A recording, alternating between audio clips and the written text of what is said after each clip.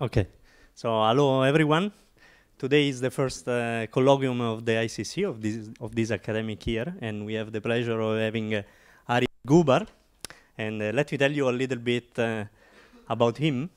So um, he actually was was not uh, from the beginning uh, uh, someone looking for supernova, but at the beginning was chasing for the Higgs during during his PhD, and um, he had the first one of the first of his first uh, um, prediction, which was uh, I'm not gonna stay in Higgs physics because it's gonna be found in 20 years, and indeed in 21 years was found.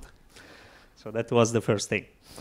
He's uh, uh, currently the director of an institute that is looking for uh, the electromagnetic counterparts of gravitational wave, which is a very important thing because we need we need those things to, to understand whether the gravitational wave we see are related to particular objects like black holes or neutron star. It was in uh, 2015-2016 the director of the Oskar Klein Center, that is a, a center uh, in Stockholm of uh, um, cosmoparticle physics. And uh, well, he was uh, the most important thing is that uh, he was part of the of the uh, supernova cosmology project, and the supernova cosmology project is the project that won the Nobel Prize for discovering basically that the universe is uh, is expanding uh, in an accelerated way.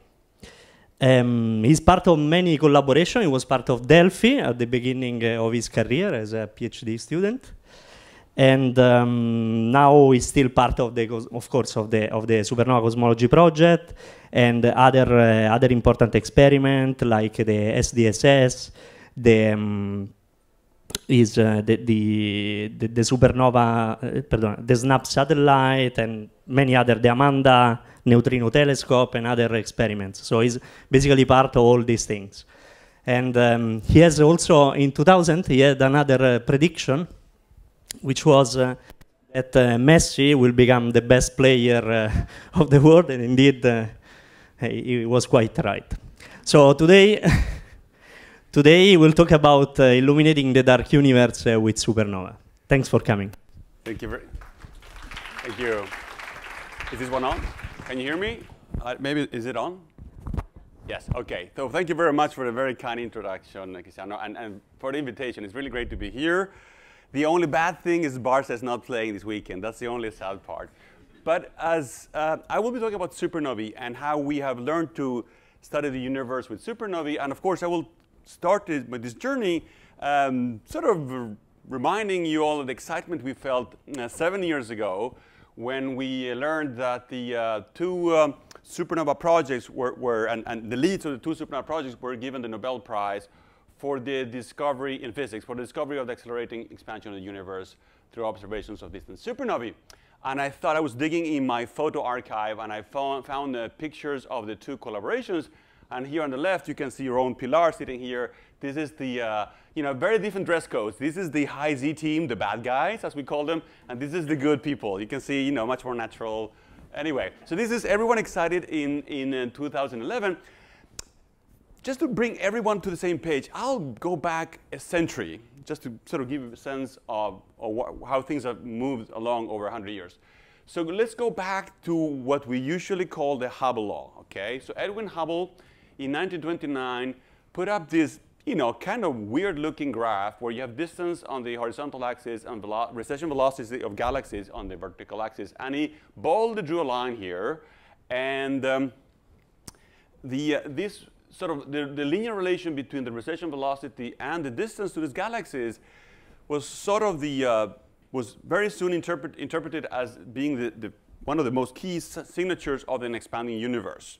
There's only one flaw with this, is, which is actually it had already been pointed out two years before by Lemaitre, who sadly published this in a very obscure small journal in Belgium in French. So no, actually it never caught on.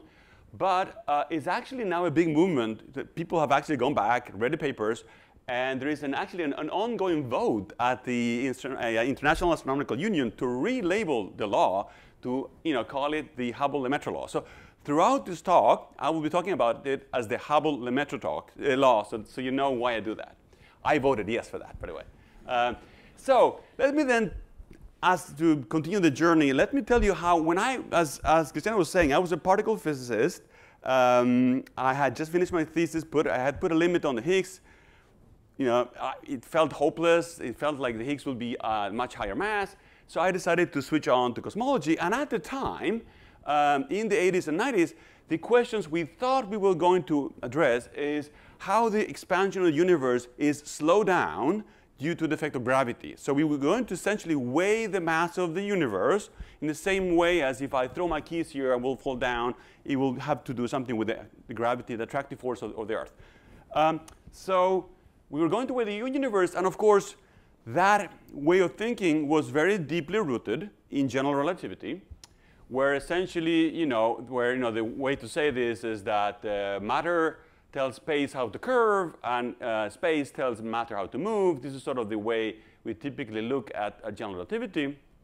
And then, again, in the, uh, by the, the act of, of the attractive nature of gravity, the universe will slow down. Now, we should have known better, though, because already one year later, 1917, Einstein had actually modified his equation to add one more term which he called a cosmological constant. Now, he did so for the wrong reasons. At the time, he thought the universe was, well, everyone at the time thought the universe was static, okay? So we already went through this. The universe, if gravity is only attractive, so unless you have some, something, you know, pushing back, the uni it was very hard to imagine a static universe. So in order to rescue a static universe, he introduced a repelling uh, force not necessarily seen as a force, but a term which actually has that effect. And uh, you, know, you know, history then, you know, both Friedmann and Lemaitre showed that to Einstein that actually this would not sort, solve the problem because that would not be an, you know, a, a stable solution. But never mind. Once you, he introduced this term, this term was there to stay, except that nobody took it seriously for many, many years, especially since the universe was not static. All right, so, you know, not much happened there. Uh, the next step in, in, in, this story I'm telling is uh, type 1a supernovae. Um, and sometime around the 80s, late 80s, people uh, were uh, you know, empirically realizing that there was one subtype of supernovae, type 1a supernovae, not the most abundant ones, but yes, one among the brightest ones, that appear to be very, very homogeneous. So explosions were equally bright regardless of where it, they exploded, in which galaxy it exploded. So that led to the thought that those could be used as standard candles, okay? Pretty much as I can figure out, to say, if I put a lamp, right, and I, the further it is from me, the fewer light will reach my hand, let's say. The same way you can imagine that you, you, you treat them as, as lamps in the universe, uh, you know, carefully placed in some galaxies, and, and by seeing how, how strong they shine on your telescope, you can figure out how far that galaxy is from you. So, and just to see the power of type 1a supernova, let me show you an old, by now very old Hubble diagram, but nevertheless, it sort of shows the point that this is the original Hubble diagram I showed you before, the one with Hubble, down here. With supernova, you can go, we could go much, much further, and for sure, they were much, much, they were very sharp sonic candles. So the linear Hubble-Lemaitre uh, law could actually uh, be shown very, very um, clearly with type 1a supernovae. So back in those days when you know hair was fashionable, I, I now think hair is terrible. So uh, I joined the group of, um, as I said, I sort of I made my bet. You know, particle physics we have to wait for 20 years for the Higgs. Let me do something else. I joined the group of Carl Pennypacker and Saul Perlmutter at, at the LBL in Berkeley. To you know, originally the idea was to measure the decelerate, how the universe is slowing down due to gravity. So we were going to expand the Hubble diagram I showed you to larger distances, so you, we were expecting to see the deviation from the linear Hubble-Lemaitre law. Um, so around those, those times, things people, there was sort of some noise in the background. People were starting to revive the cosmological constant. It had to do with things that people measuring the ages of stars in our own galaxy and finding that, hmm, they seem too old for the age of the universe we were to derive if there was no cosmological constant. There were other sort of circumstantial evidence like that, that people started wondering, well, well maybe this you know, cosmological constant isn't so useless after all. So um, the question is that could we do something with supernova about it? And I will not bug you with details, but essentially what we're doing when we're measuring this is we're measuring distances with supernovae, and we're actually essentially what we're doing is figure out how space has been expanding from us at the present time to the redshift, the, you know, when the supernova exploded in the, in the past, okay? Now, in this integral, there are terms which have to do, as we're saying, you know, the, mass, the, dens the density in matter, uh, the curvature of the universe, and this dark energy, uh, as I will call it from now on, this you know, cosmological constant or some you know, other version of it that might not be constant. The, point, the, on, the only point here is that a cosmological constant has always been the same over time, but you know, we might give ourselves the freedom to think that maybe it's something repel, you know, is a repelling, has a repelling, uh, it counters gravity, but it might not have the same density over time. So everything goes here in the denominator of this integral. So there's an obvious degeneracy, right?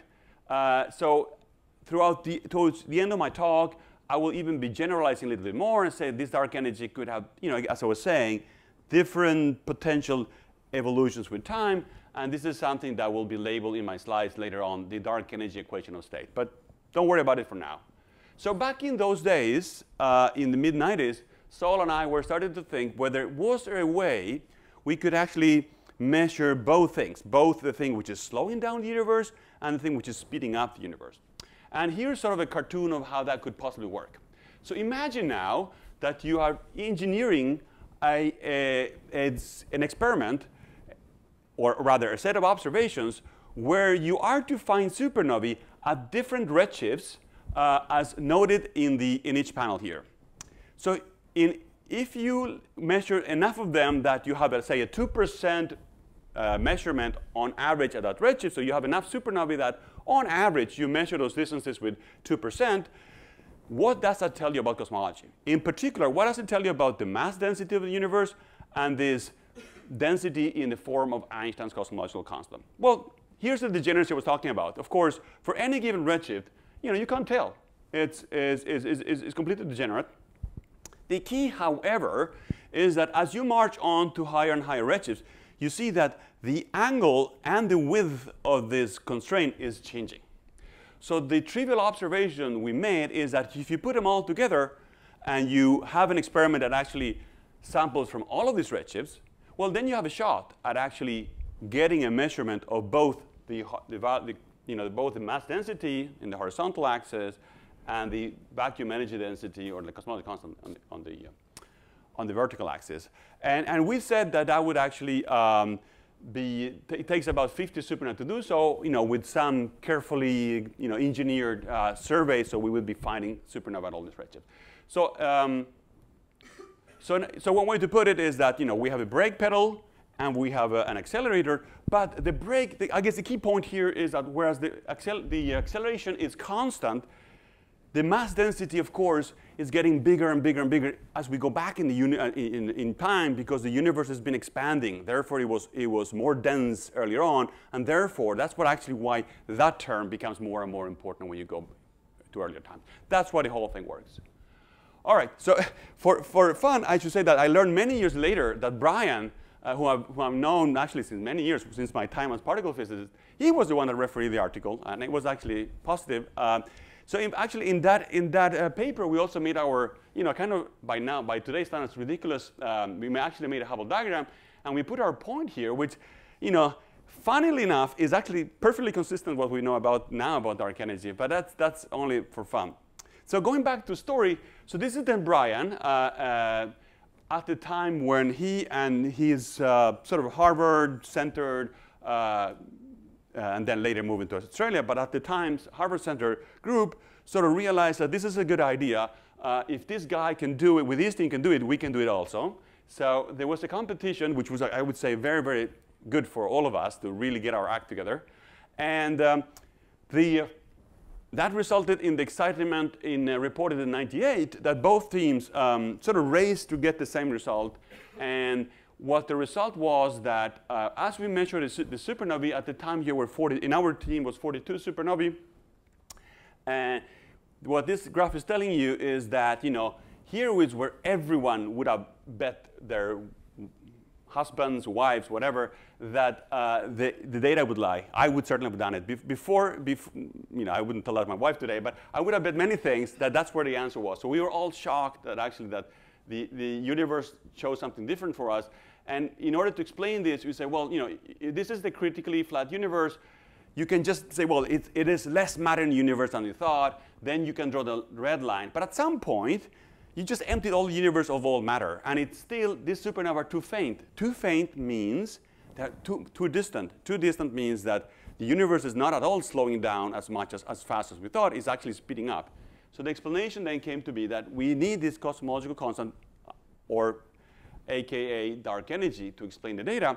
And that sort of, you know, now we are celebrating 20 years of this, this universe, which sort of pretty much looks like this. This is sort of the, this is a, a, modern measurement, the modern pie diagram, but the numbers haven't changed by a lot. So it's about two-thirds in this dark energy, uh, uh, about you know 25 6% uh, of dark matter, which we also know don't know what it is. Uh, you know, everyone has a favorite candidate perhaps, but we don't know what it is. And the stuff we are made of is sort of a sad minority of 5%. So the stuff we learn at school, you know, the all this stuff, uh, is actually only 5%. So maybe you know, our, you know, our kids are wasting their time learning all this stuff when they, they are not le learning much about the 95% that, that, we know about. All right, so um, how are we doing here? Okay, so um, I want to take a step back and tell you, okay, so why was this found in the 90s? What was exactly that went on? And I think it's, again, for young people in the audience here, it's good to figure out, you know, where, where should I put my career here. And I think what was really, really critical to remember is, or keep an eye on, is what is technology? Where is technology going? What made it possible in the 90s to, to scan the sky, to look for supernovae and make these measurements was CCD technology. All of a sudden, people went from doing, you know, photographic plates, going to the telescope, doing photographic plates, go, you know, take, you know, go back home and analyze the data many weeks later, to image, image the sky, uh, you know, have a digital image, transport it fast to your fast computer, was not that fast, but you know, fast, fast enough computers at home in your lab, and do image comparison so you can actually detect supernovae. Well, they were still brightening. The point was that it was no good if you found a supernova a year after it exploded. That's completely useless. The fact is that we needed to be fast. Find this supernova fast enough to measure their peak brightness, because that is what we measure used to measure distances. So this is actually how a camera really looks like. And this is sort of, you know, typically at the measurements I've been showing you now sort of are, are at, the scale of, a, of the moon or slightly bigger. That's how big cameras had to be in order to do this in a, in a meaningful way. So let me then jump to now, fast forward, okay?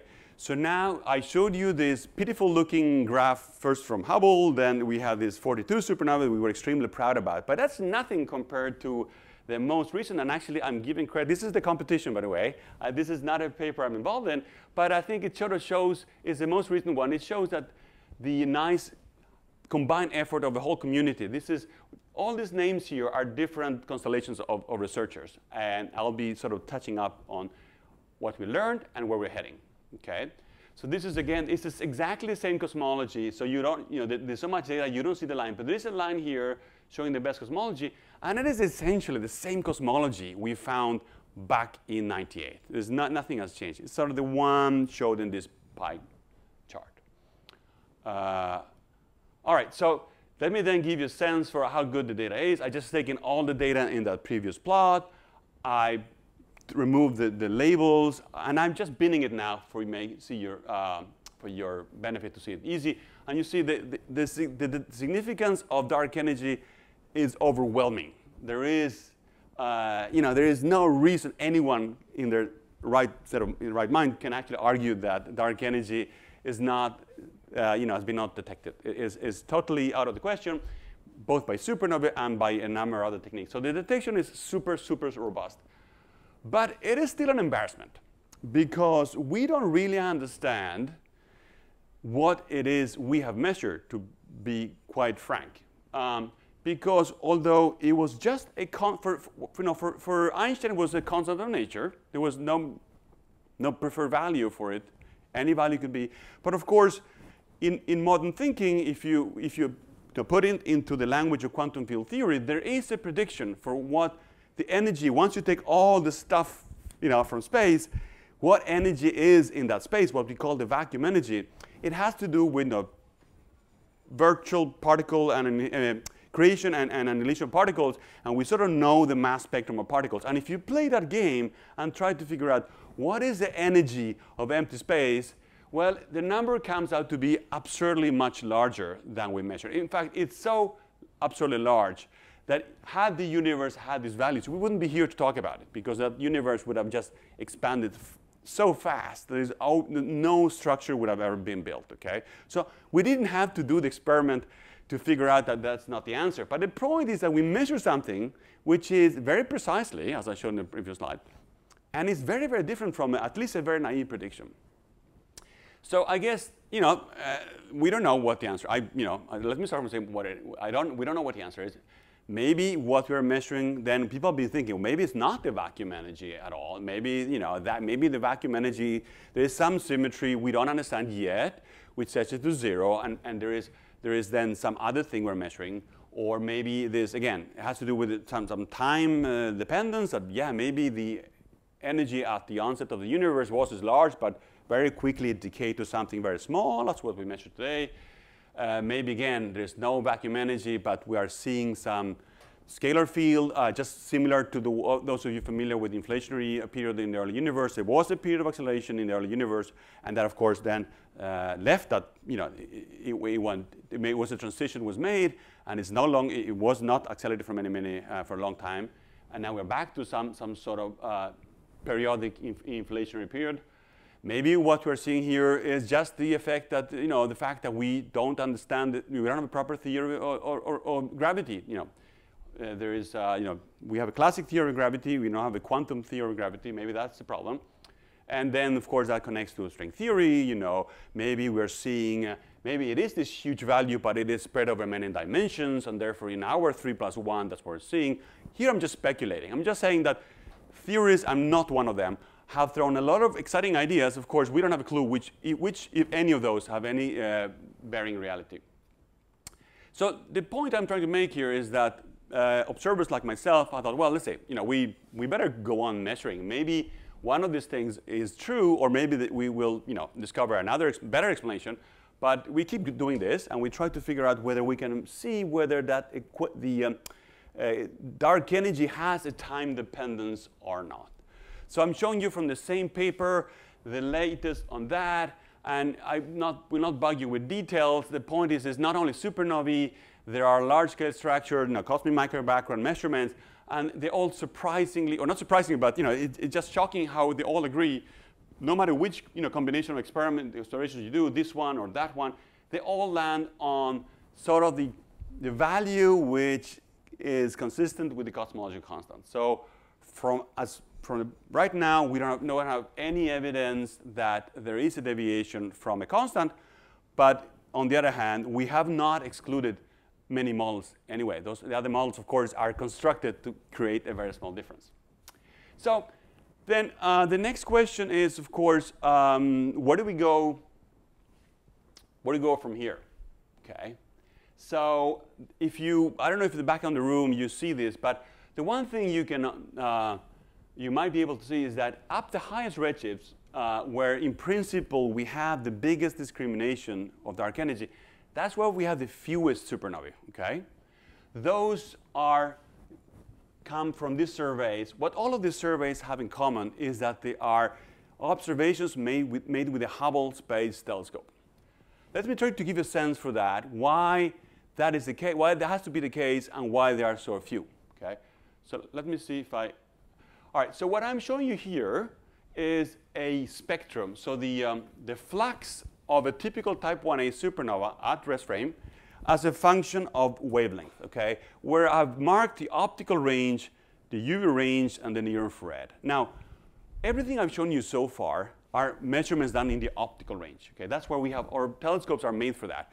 UV is very, very tough, you know, essentially it's, it's uh, everything absorbs in the UV, right? So the atmosphere doesn't, doesn't let you through. You have to, again, do a measurement from above, uh, above the atmosphere. And its, its situation is, is also difficult than near infrared because there you have absorption in the atmosphere, but also emission. You know, when you're looking at the faint source, you're competing by diffuse radiation from the atmosphere, which is many, many times brighter than the thing you want to observe, and therefore is not so easy. Right, so we're, you know, as at low redshifts, we're fine. We're, we're looking at, at the optical thing. As we go to high and high redshift, everything, all the action in the supernova is moved to the infrared, okay?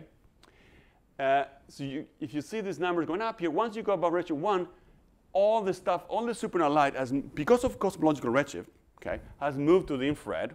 So it means that optical telescopes are not very useful to find a supernova. So we need to go to uh, something from space. And at the moment, what we have in space is the Hubble Space Telescope, which has a 100 times smaller field of view than the ones on the ground. So 100 times smaller means you have a 100 times harder time to find things because you are sampling essentially 100 times fewer galaxies. You see, so that, that's why there are so few of them. So this is where the, for the future, people are excited about satellite missions which have a wide field of view, okay? Unlike Hubble, you know, missions dedicated to search for transient phenomena or rare things in, in general, which then will uh, have a much bigger field of view than what's currently the case for uh, Hubble. And then things like WFIRST and Euclid and, and maybe JWST will, could do something about that. Okay, so that's on the higher end. I'll now move the focus to the low redshift world, where actually, you know, throughout sort of the rest of my talk, I will be focusing on this because that's what we'll be, I've been working for a number of years now. So right here in this graph, you can see why there could be a problem.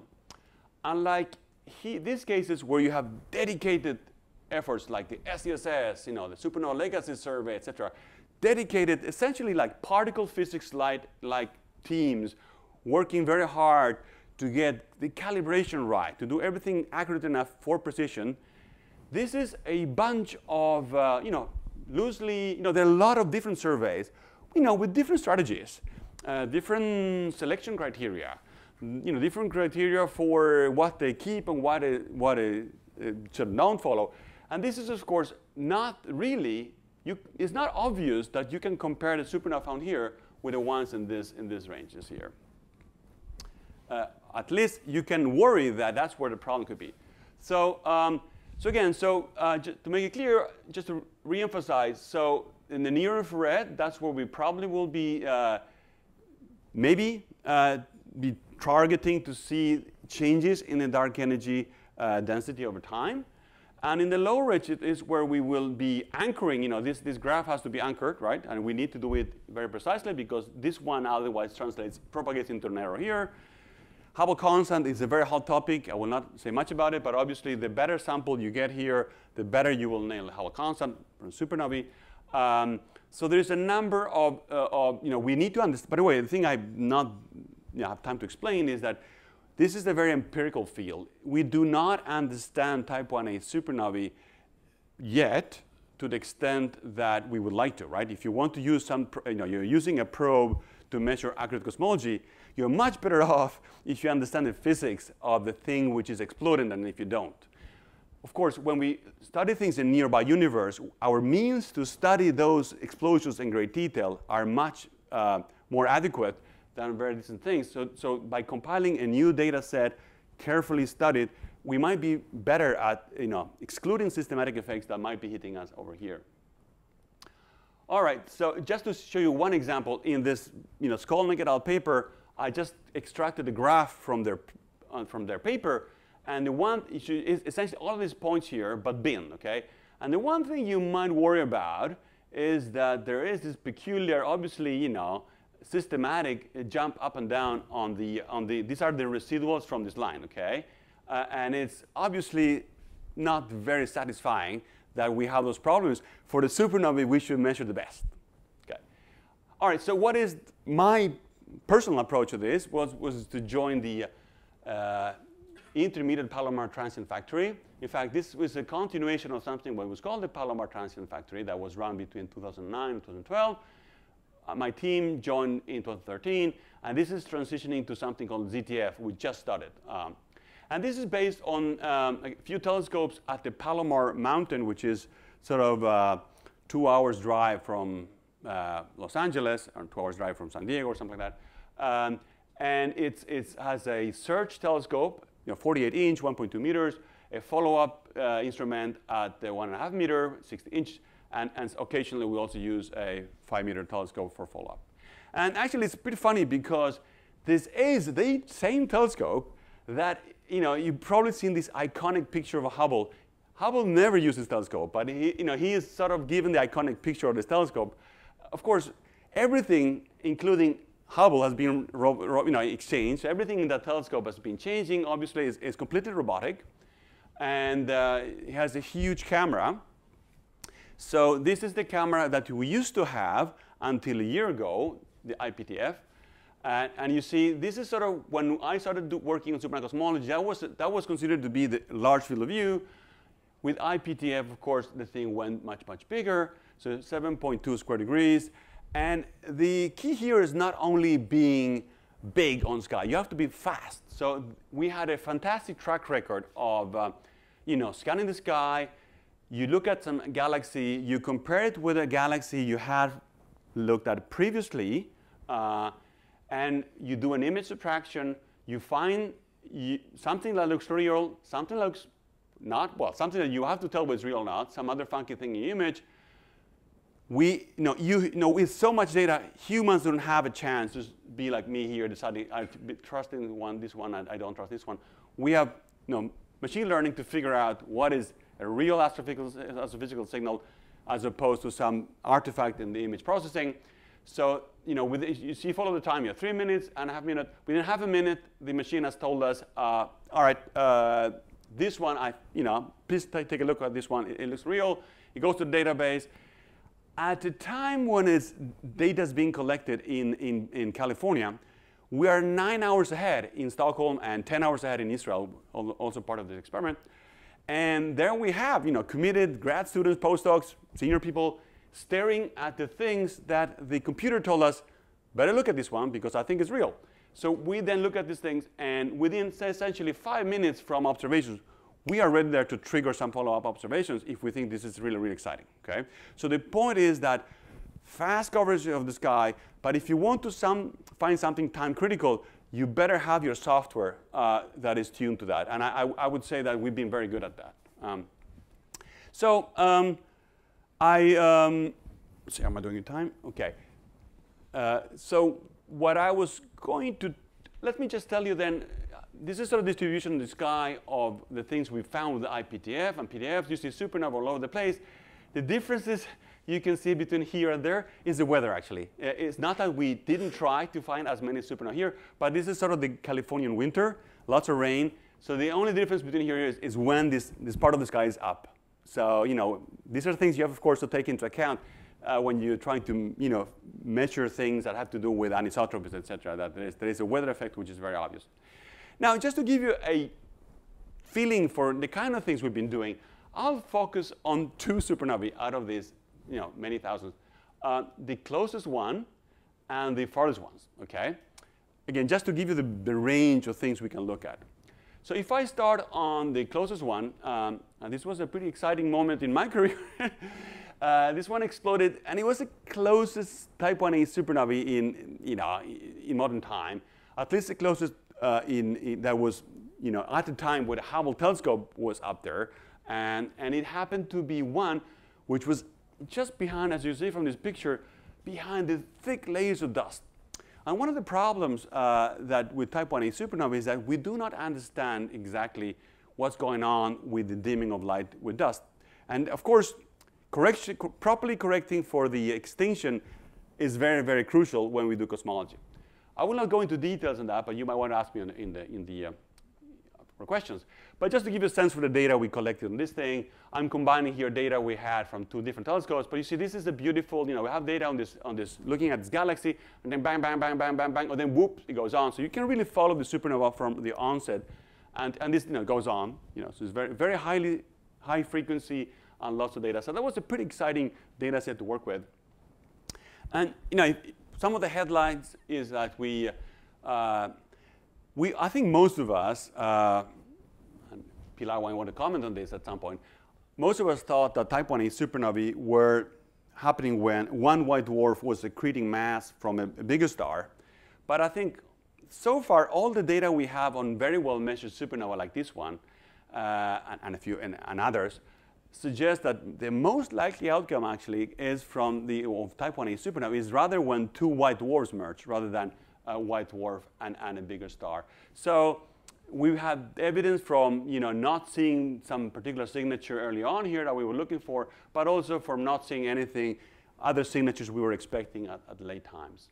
The other thing I, you know, I've, I, I was very excited about is, again, we could do this measurement. We could tr trigger the Hubble Space Telescope. We could trigger you know, observations in the mid infrared and the near infrared, everything.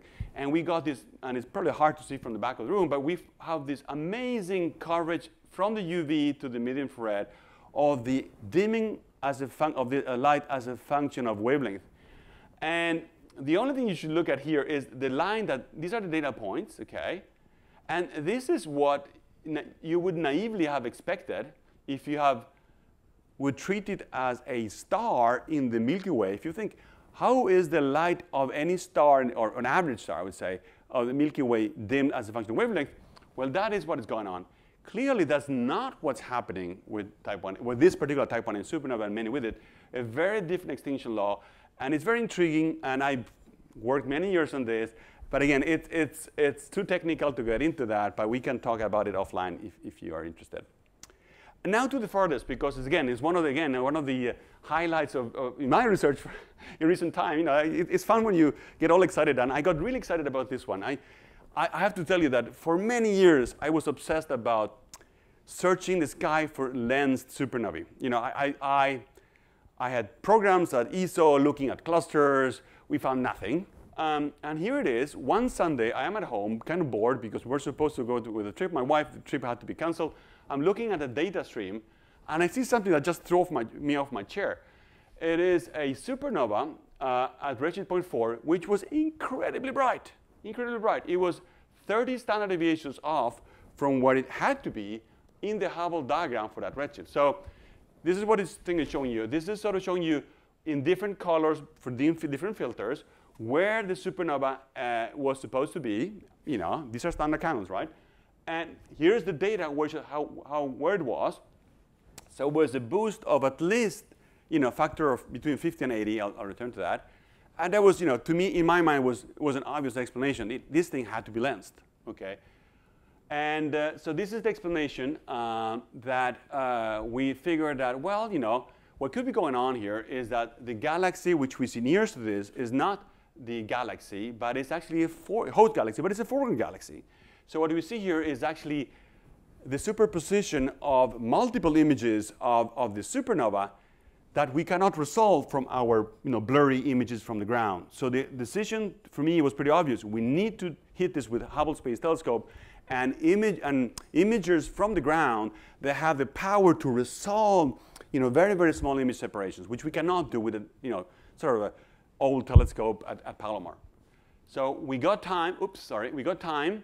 And at first, and that was super exciting. We, we, we were working at uh, K-band imaging at uh, the, uh, so 2.2 micron imaging at VLT, and uh, it was an instrument called NACO, and it was working, it was not working, it was all night, we were sort of struggling, me over Skype, and, and this guy operator at, at the, uh, at the telescope, and we were struggling, and it wasn't obvious. So just to give you an idea, so this is our image from Palomar, okay? It's a blob. We cannot tell that it's multiple images but because it just the resolution is awful. This is the image we got from uh, VLT, and it was sort of hinting that it was asymmetric. So we were excited enough to try to get an image from Keck. And Keck had a very nice laser-guided uh, active um, adaptive optics, the thing that you can use to correct for the atmosphere and get a sharp image.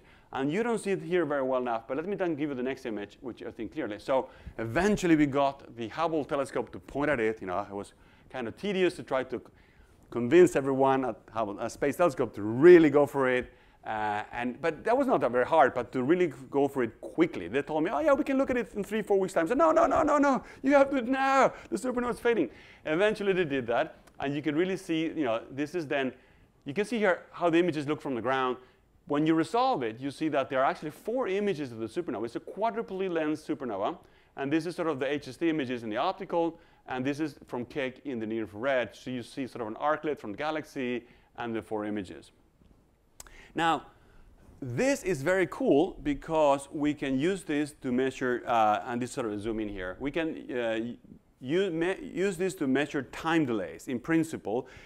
Another way to study the dark universe, study cosmology, is to measure the arrival times of these images. They, you know, since they're going through different paths and sensing different absolute lengths and different, uh, different uh, distance from the core of the lens, uh, the sensing different gravity, uh, they will actually arrive at different times. And in principle, this can be used to measure the Hubble constant and also dark energy.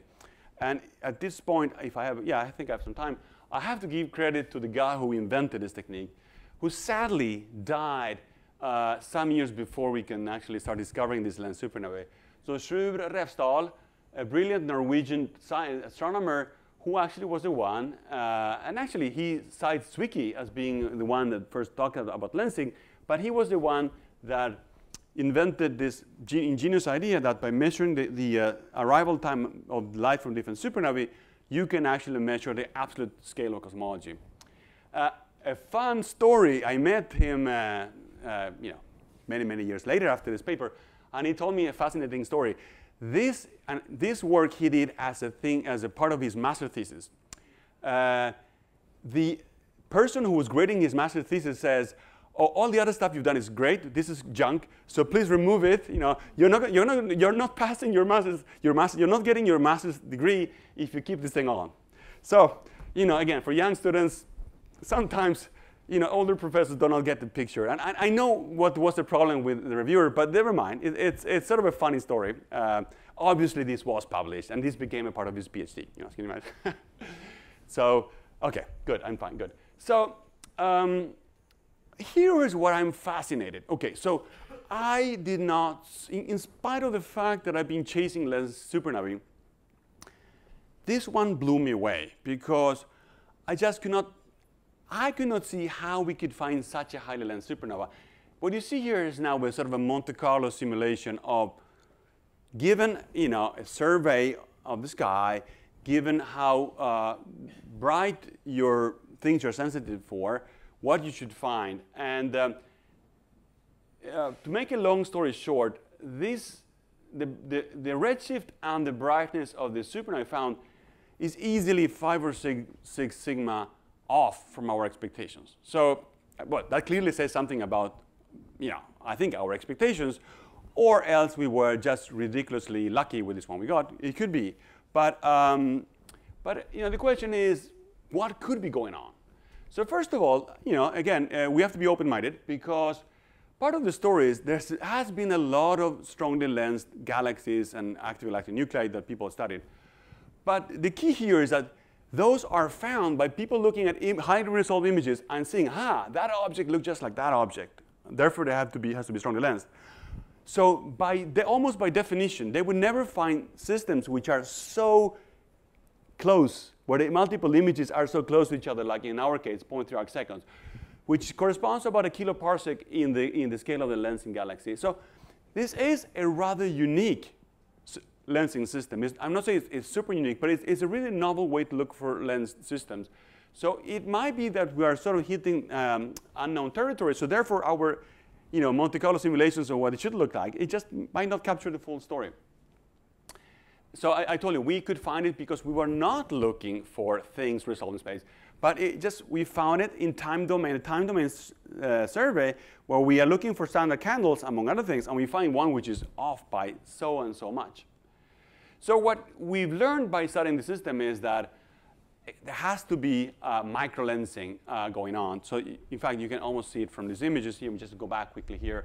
Uh, you can see here by the symmetry of these things that the, the, images have, these are different filters, by the way, I should say. So different wavelengths.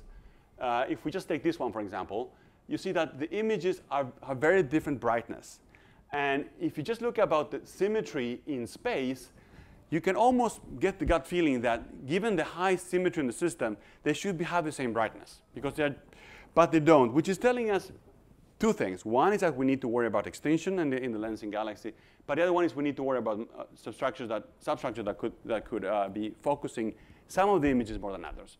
So uh, in the last five minutes, I think I have, I'll be focusing on how do we move on from here? Uh, what is the next thing? So what we are doing since June this year is a scale-up version of uh, the camera we had at Palomar.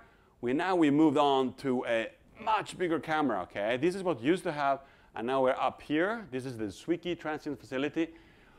By the combination of, of camera size and technology being better, we are actually scanning the sky 12 times faster than we used to do. And very importantly, we're doing this in three filters. In, in IPTF, we, in, in order to scan the sky, we were stuck with, you know, we didn't have time to do more one filter, which is a, a big, big, big, big loss. So this is very exciting. So let me just a uh, couple of slides show you what can we learn from ZTF. And, and just I take two very specific examples. I mean, the, the variety of things we can learn is immense, but I don't have time to talk about it. So one is this thing is dark energy. Uh, again, I had this equation of state. I will not bug you in details. This is sort of uh, current status, some uh, alternative models to cosmological constant. The point being that uh, if you are able to anchor the Hubble diagram accurately at low redshifts with a sample like the one we are collecting in 2000 supernovae, you can take an experiment that costs a fortune, like this WFIRST satellite, and you take it without and with the data set, and you see, you know, you win a factor two just by combined, if you do it properly and the data is good enough as we hope, you, we would win, you know, lots in precision of our uh, uh, understanding of, or not our understanding, our measurement of the equation of state of dark energy. Uh, we'll get that for free, more or less, because we're, we're scanning the sky anyway. Uh, what about lens supernovae? Well, so we just put out a paper uh, last week, no, just a couple of weeks ago, I guess, uh, where we made a prediction that you know now we are we are now we have optimized the way we look for these things in the new data, and we think we should find seven lens supernovae per year, uh, about a quarter of them being 1A. So many of these will not be the standard candles. They will be a bit tougher to work on. And here are some pretty pictures uh, Danny uh, Goldstein, who's the lead author of this paper, made about, you know, assuming we get HST time, this is how the systems we would be uh, looking for. And again, we, the typical magnification of these things would be more like 25 or 30, not the 60 or so we found for IPTF 16geu. So maybe there is something we did not understand, and these estimates are turn out to be conservative. I'm not sure.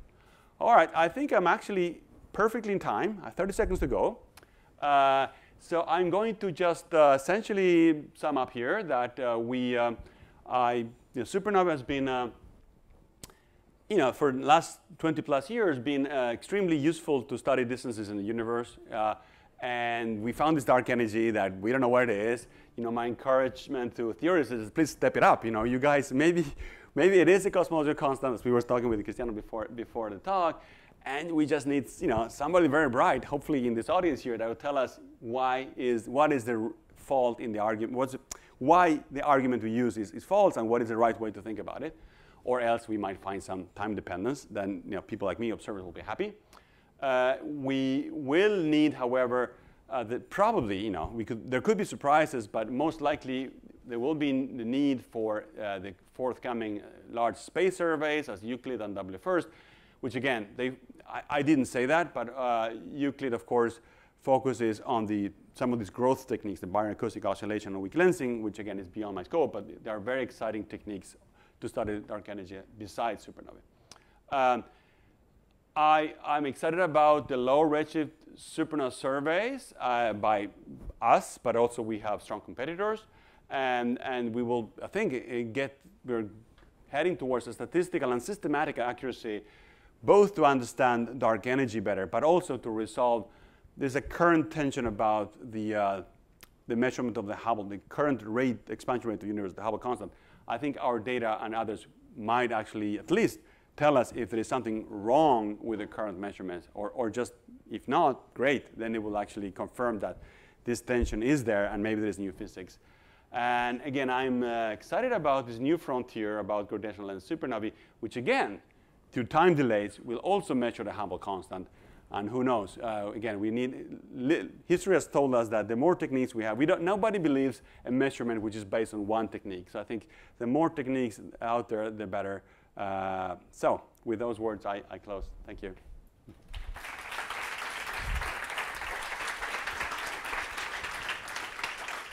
Thank you very much, Ariel, for a wonderful colloquium. Um, before going to question, let me tell you that at APAS 3, students and postdocs can, can meet with Ariel with an informal meeting to ask about uh, career or ask about physics, or whatever you want, in the Pere Pascual. Okay, so you are all invited to come. And now we can go for some questions if you have. Raise the hand.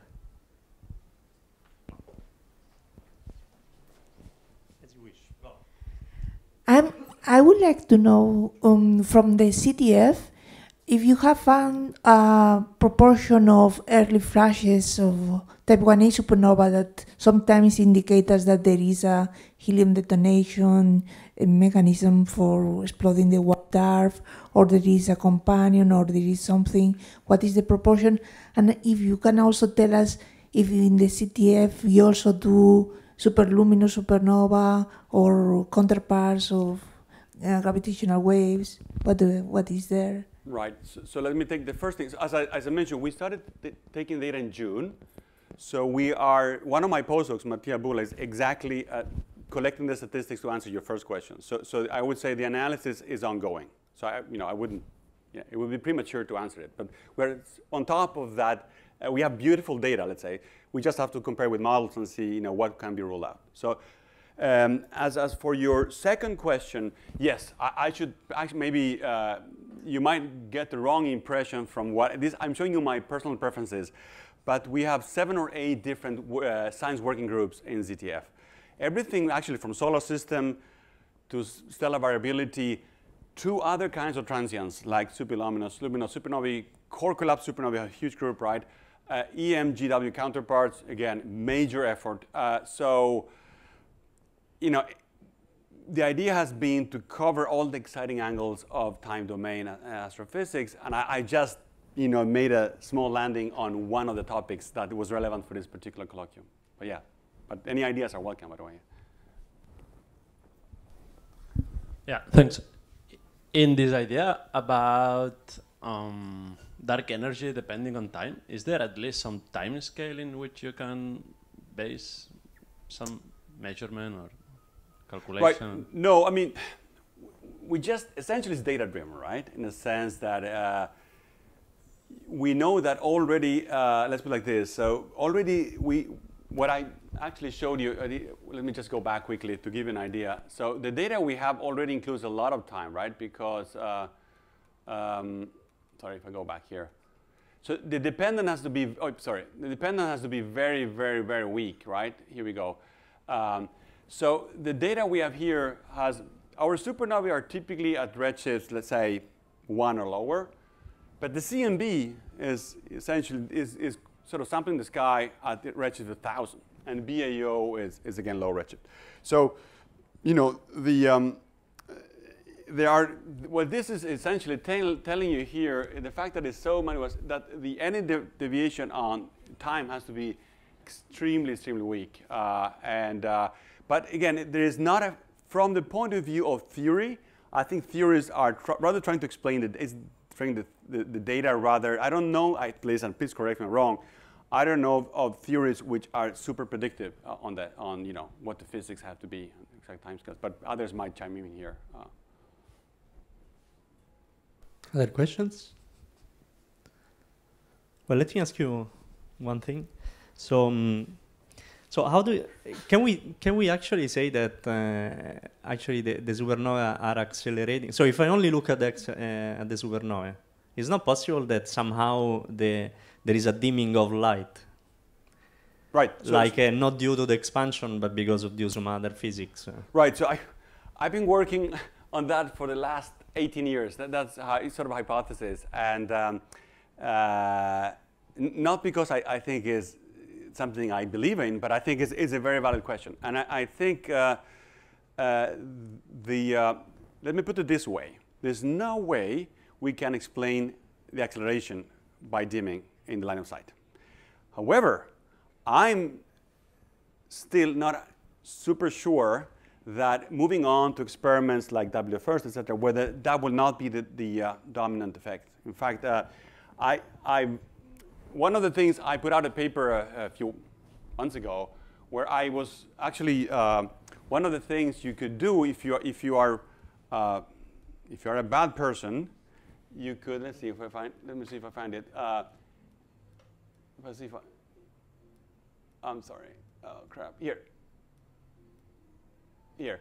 One of the things uh, you can do if, if you are, this thing is act, this jump here, and I, you know, I can explain this in, in, in, offline, but if you are trying to be a devil's advocate and you say, what physics could do this jump? Well, one of the things that could do it, I don't say it is doing it, but one of the things that certainly fits the data nicely is, is, uh, is uh, a intergalactic dust. If you, if you think about galaxies uh, you know, expelling dust, as we, we know that that, hap that happens.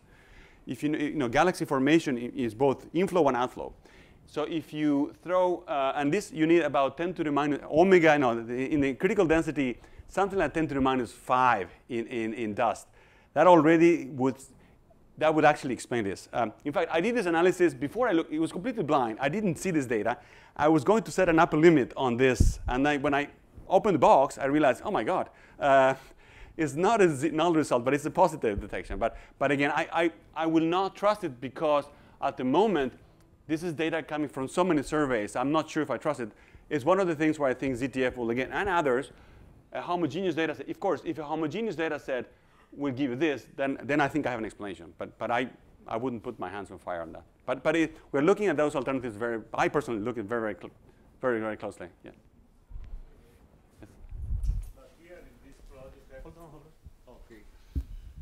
Here in this plot, you have two points, the binning. Yes. And then you have three, four, five, six, seven, eight points. Yes. Uh, how robust is this statistic of this binning to say that this, only these two points are the, are the most significant ones? No, no, no. I'm not saying those are the most significant ones. I'm saying that if you, uh, these ones are, I'm only saying that these ones, if, if you're going to, the question is, what do you trust? Do you trust yeah. the, the surveys have spent enormous effort in getting the calibration right, or do you trust these ones where the authors essentially say, we're not sure? So uh, my only point is, and, and again, I, this is not my graph, but the point being that if, if, you, if you take the best, so this is the best average, right? And the, the, the average goes through the, these points, and there are deviant points from the average, and the ones which are below redshift 0.1 are the ones which come from these more problematic surveys. I'm not saying that that's, again, I, I don't know how the explanation of that, but it is well known that systematics cannot be ruled out on those, whereas systematics on these ones would be much more surprising. Okay, oh, I have another short question. Yes. In one of your last biograph, when you show the the plots of the faraway supernovae, and there is a statement who says that this, uh, with more observation, we will we will be are able to clarify something about the dark energy. Why don't include mat dark matter there? Oh, no, absolutely. So so so. Uh, maybe I should say that uh, the dark matter density, yes, we will, again, it, it's already amazingly well constrained by CMB experiments, for example. There, the question with dark matter is, you know, it, could we actually find a culprit? Could we find out? There are laboratory experiments trying to figure out. We know the density very, very well. Uh, and the question is, but what is it made of? Is it like black holes, like I'm here, or is it WIMPs, you know, axions, whatever? So the questions are quite different. For dark energy, is like we don't even have a, you know, even a strong candidate other than a constant, in which case we're done. Yeah. Yep. Um, so when you need to resolve the degeneracy between lensing and closeness for a supernova, is your only chance to look at a high resolution picture and hope that there are like pretty pictures for you to, or do you have another method? So can you say that again? So uh, for lensed supernovas, yes uh, you see that there is like a degeneracy between how lens it is and how close it is, right? Yes. Oh, now I see. What, now I see. What, yeah, this one. Yes. Yes. Yeah, so so how do you solve this? How can you solve this without looking at high resolution pictures? Right. Uh, so so we have in, so in, the, in this paper we actually work out the technique how to do this. So what we will be doing is we'll be looking for supernovae which the closest galaxy is, a, is an, an elliptical galaxy. We know that lenses, most, the most massive galaxies are elliptical galaxies. So, uh, and those, um, so whenever we find, let's say, a very bright supernova, which is close to uh, a elliptical galaxy, we will just look whether it, that brightness seems to originate from the same redshift of the, is it consistent with the redshift of the galaxy here?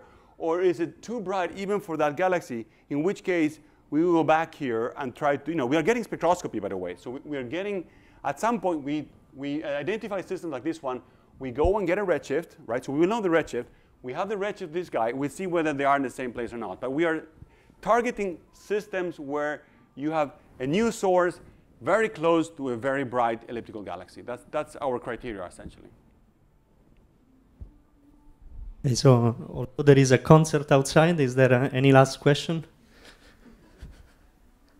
No? Then let's not forget at past three to meet with Ariel in the Pere Pascual, and uh, let's thank Ariel for this fantastic uh, colloquium.